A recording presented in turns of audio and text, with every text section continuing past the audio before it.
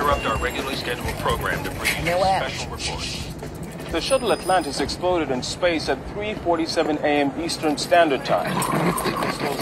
NASA officials have Hey! Hey! Get up! Get! That's my guy. Come on now. Yo, fool!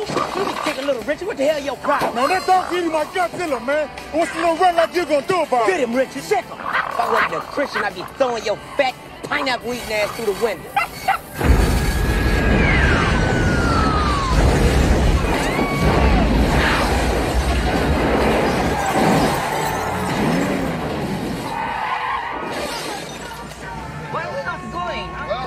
Know why? Because this is New York City. Anything could have happened. Listen to that. Uh, let me see. It could have been a terrorist bomb, could have been a dead body, somebody shot, stabbed. And it's Friday payday, too. Somebody probably jumped didn't get that paycheck. I want to go shopping. Me too. but we ain't going nowhere because this is a traffic jam. The Richard! Oh, I'm coming, little Richard! Hang on, little Richard, I'm coming! Don't you worry about it. We'll get you out of there. You okay, buddy? Don't worry about it. Hang in there. Somebody dial 911! My screen's full. They're all over the place. Bogies are breaching the atmosphere from Finland down the North American seaboard.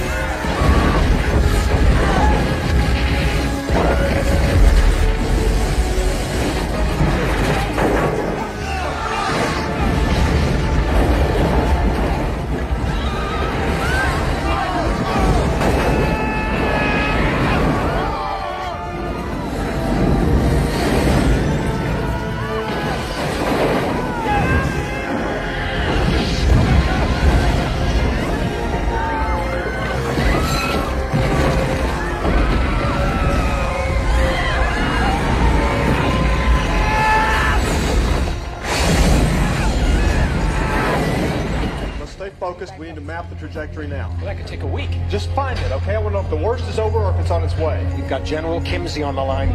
We've got hits from Finland to South Carolina. We know they're not missiles. Now, what the hell is it? It's a meteor shower. That's what took out the shuttle.